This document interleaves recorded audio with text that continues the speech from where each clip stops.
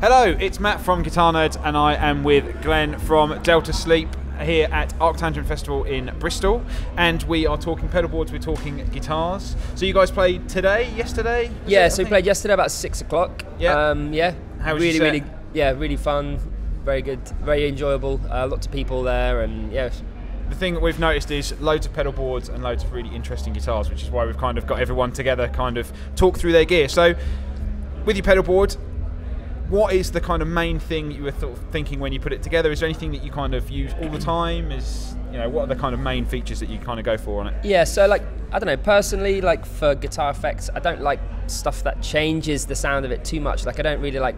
I go in, go in for like flanges or modulations or kind of anything like that. So Okay. essentially, I've just got three delay pedals and a tremolo pedal. Um, yeah, so there are kind of delays all going through each other basically. So you've got quite a lot of options as well. But um, yeah, quite a lot of depth to each of the pedals. Like this- Okay. So I mean, like amp wise, obviously. So I see you got like a Maxon overdrive. Do you running clean and just using that as your drive? Yeah, so I've using a lot got um, on the amp. it's called a Selmer treble and bass. Oh yeah, cool. Yeah, yeah, Classic. it's like a yeah, it's like a 1967 kind of bass and guitar head, but I run them through each other. Okay.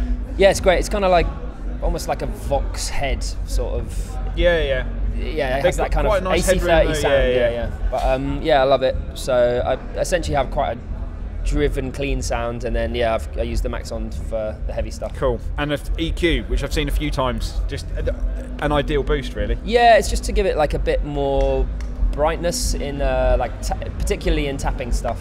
Like, Yeah. I was going to get a compressor pedal, but yeah, I just prefer that. It's just a bit more welly. Fine. And I mean, so uh, Pigtronix Echolution, kind of awesome delay pedal. Um, I mean, they make some. I mean, Pigtronics make some funky pedals. Everything they do tends to kind of go down the weird and wonderful route. Is there anything you sort of do use that? Well, I mean, this is actually the new, the newest thing that I got. I got it for my birthday in June, and um, it's like there's so much depth to it. But essentially, it's just a an echo pedal. But Yeah. yeah, the depth comes in like the multi tap for it. So Yeah. there's all these like different like fractions almost. Yeah, so we, we were actually um, we were talking about this. Uh, the other guitar nerds people were talking about this a few weeks ago. Like that pedal in particular's got all these kind of weird ratios that you That's can kind right, of yeah, have. For, so it allows you to get a little bit more creative. I mean, with- I kind of bought it more with the intention of getting to work with it in the studio, and like that's when I can really like sit down and work out exactly how I'm using it. But yeah, So, so, I mean- far I still haven't really touched the surface of how many things I can do with that pedal. So I mean, in in the studio, how do you kind of approach your guitar sound? Do you kind of deconstruct your pedal board? Do you just kind of leave it as is and just everything sort of flows? Yeah, I just leave it- wise like that. Uh, on the last two albums, I just left it as it was. Yeah. Kind of did everything like on the fly, and then if there was anything that we wanted to overdub with a certain effect, then we try that. But usually, I actually tried to do everything while we were playing it. Yeah.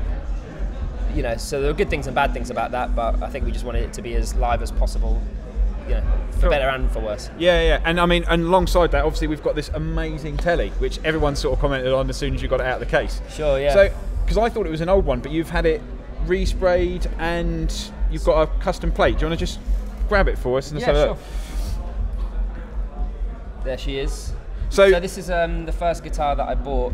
I got it when I was about 14 years old, so it was like 2003, okay, something like that.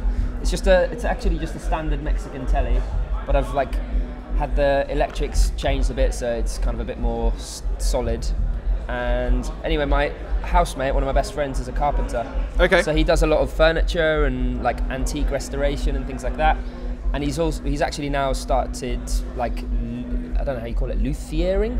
He's a luthier. He makes, he makes yeah, yeah, guitars. yeah, yeah. But um, yeah, he's like, like seriously, an absolute master when it comes to anything to do with wood. He builds houses, and you know the stuff he makes is incredible. So guitars is like a natural. yeah, yeah. really. Um, he actually wanted to do this because he just like really loved the guitar. Um, I just told him to do whatever he wanted with it. It was actually just a standard sunbursts uh, it Mexican looks, telly. it looks awesome. I don't know how well that's yeah. going to come So across on camera, but it's like it. It looks like genuinely old. Which Yeah, is no, amazing no. as well. Yeah, so he basically took off the um, like, is it like acrylic? I think. Yeah, it's like a, it's normally like a poly, isn't it? Like, yeah, it's quite he- a thick it's like a kind of lacquer. Yeah, he took it all off, which I think, yeah, he said it like makes the guitar just breathe a bit better. Yep.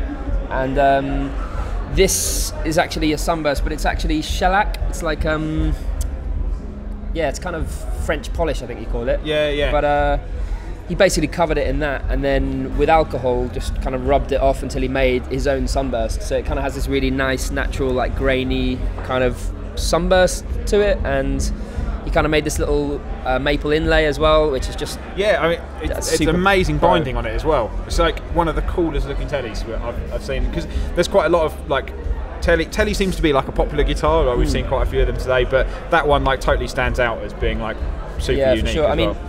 As a backup guitar, I could have just this guitar again. Like Yeah. the 72 Custom is definitely.